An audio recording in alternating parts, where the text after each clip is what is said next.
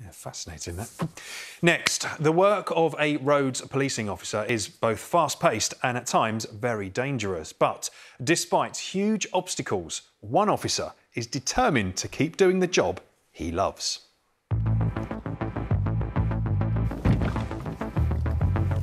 I wanted to join the police force. It's always been a childhood dream of mine. The role as a roads policing officer is an exciting one. Yankee Mike, Yankee Mike. PC Mark Woodcock is a roads policing officer at West Midlands Police. Today, he's on duty with PC Luke Jemson. I am Tango Charlie 17, code 2 check, please. Received, stand. Mark realised his dream of becoming a police officer in 2007. Blue Box Alaska. Yes, yes. I left school at 16 because I knew that that's what I wanted to do. I wanted to join the police. I was very fortunate joining at 18 as a special constable, so it was a really good feeling. But in 2015, Mark was diagnosed with ulcerative colitis, a form of inflammatory bowel disease. Six one over. It was probably around nine months after getting married, just had our first child, so life's great. All these exciting things that you want to do in life, and then you're diagnosed with this disease that you don't know what it means, you don't know what it's going to bring. So it was quite a scary time in my life, really. Whose car is it then? Your mum's. Mark tried various medications to manage his condition, but nothing worked. I knew that things were getting worse. I was going to the toilet more frequently, passing blood again, and I was also getting sick every time I went to the toilet. The weight was falling off me. I was feeling more tired. My skin was awful. I spoke to my IBD nurse, and they said, right, you need to come into hospital now. In August 2020, doctors gave Mark an ultimatum. Try another medication with only 20% chance of success, or have part of his digestive system removed. After being in hospital for four weeks in total so far that year, being away from my two young kids who are only eight and five, being away from my wife, the rest of my family, and I knew that one day I'd end up having a stoma anyway, I thought, just get it done. Mark had surgery to create a stoma, an opening which connects the bowel to the surface of the abdomen. He'd now have to wear a bag, but the results were life changing. I saw a massive improvement from having my stoma to the point where all my symptoms had gone. Obviously, I wasn't going to the toilet because I didn't have a colon, but the fatigue gone. It was like a miracle thing that happened for me, so it was the best thing ever. But Mark worried his new stoma bag would prevent him returning to the front line. I'm only 34. I've got a long career ahead of me still. I've got a great role on roads policing. My biggest fear was losing that. So the issue with that particular vehicle, being impatient, they've decided to go to the offside of someone who's queuing and try and cut in front of the traffic, purely to try and save two or three seconds, which is inconsiderate driving. So he's going to be reported for that offence and also a few defects on the vehicle that we've just identified as well. People driving in an inconsiderate manner, excess speed, on their mobile phones, being drunk, drugged up, not wearing seatbelts, those kind of offences will lead to deaths on the road, so we do try and tackle them head on. During his recovery, Mark found a fellow officer on Twitter living with the same condition. I found somebody called Colitis Cop, and he's the one who told me everything I needed to do. Colitis Cop wore a titanium armoured plate to protect his stoma bag while on duty. This year, West Midlands Police paid for a similar plate for Mark so he could return to the front line. It means a great deal to me that West Midlands Police have invested the time and the money into keeping me frontline. I've been able to carry on life as normal, which is the whole point of having a stoma. You get your life back. Come on, thank you. Once again, when you get a second, uh, would you mind taking a look at log 2097 officer? It looks a bit rushed, doesn't it? Now Mark is helping others with colitis through his own Twitter account, Stoma Cop. Colitis Cop, he kind of inspired me, gave me that drive to get back to work frontline. And I thought, what a great way for me to try and help somebody else.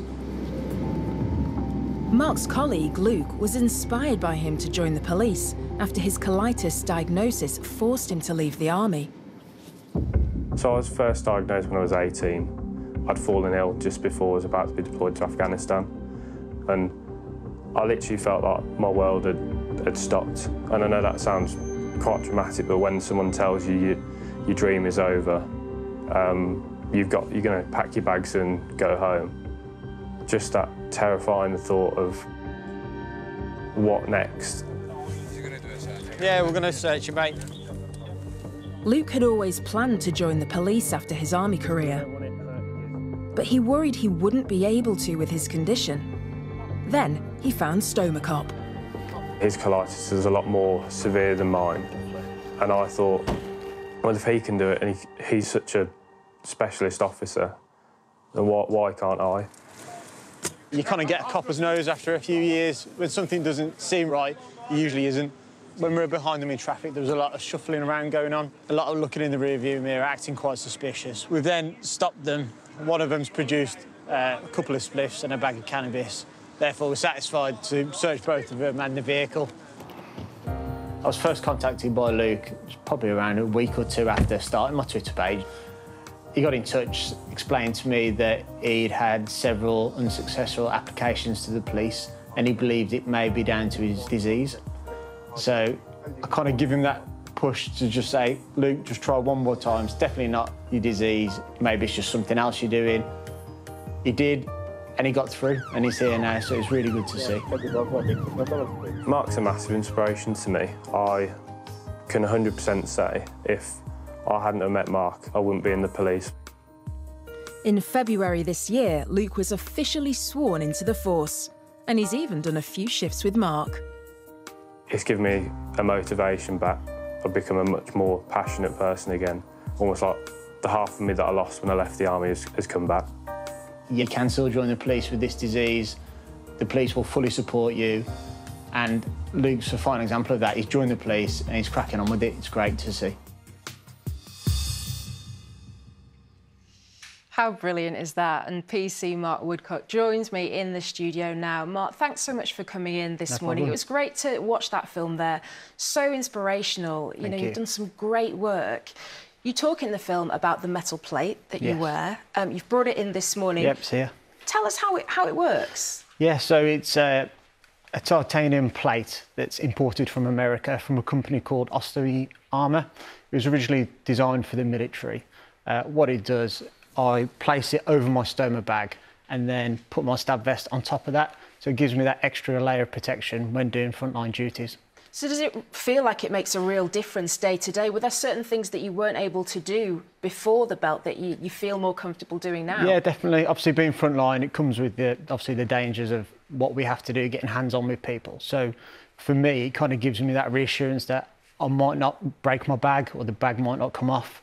Uh, to start with, it was very uncomfortable, but I've got used to it now after time. So it just becomes like a normal thing that I put on every day. Just part of your uniform that you Yeah, put exactly. on in the Yeah, just a normal part of my PPE, like anything else that we put on. And tell us a bit more about colitis itself and, and how many people it affects. Yeah, I think it's around one in 420 people suffer with inflammatory bowel disease, which is ulcerative colitis and Crohn's. So there are a lot of us out there, uh, more so than I ever knew. I didn't know it even existed until I was diagnosed with it. And this is why it's amazing to, to raise awareness around it, isn't it, Mark? We heard from your colleague Luke in the film there as well, who felt incredibly inspired by you and, and you speaking out. Yeah. Um, he was saying how initially he didn't feel like the, the force might be right for him because of his condition. Yeah. How did it feel when he actually got the job? It was great. I felt really proud of Luke, everything he's accomplished. You know, he's had a hard time for such a young man. Uh, but at, when he spoke to me, I said, Luke, it's probably not due to your um, colitis. It's probably due to something you're doing on the application. So I spoke with him several times, and I've been there from the application process right until he came uh, on patrol with me for a couple of shifts on roads policing. That must be very rewarding for you as well, Mark, Yeah, to definitely. see that transition, you know, and, and to see somebody at the end of it with a lot of confidence and looking forward to going to work. Yeah, it's really rewarding to me. I think, like anything, it's really nice to give back. I had the support from my colleagues, supervision at work, my family. So, in order for me to kind of progress, it's nice to give back. And your family must be so proud of you. Yeah, they are. They're Uh, watching this morning, aren't yeah, they? they're at school now watching, bless them. Uh, my, uh, my son Ethan and my daughter Evie. So, it's, it's really nice. Uh, my wife's in the police as well, so very much police family. So, And finally, Mark, to anybody who's watching this morning who has a disability and feel that they don't have the confidence to, yeah. you know, set uh, set a career out in the in the police force, what would you say to them? Just give it a go. You never know, do you? Uh, there are some disabilities which would prevent you being a frontline officer, but there's so many uh, police staff roles within the force that they could do and contribute to the organisation that way. Mark, it's great to speak to you. As we said, you're doing some really inspirational work, and, and thank you so much Thanks for, for having me. Great to chat. Thanks, Mark. It's a great story, but the kids should be doing some work at school. Uh, it's time now for, to have a look at what's been coming in on the phones, texts, and emails.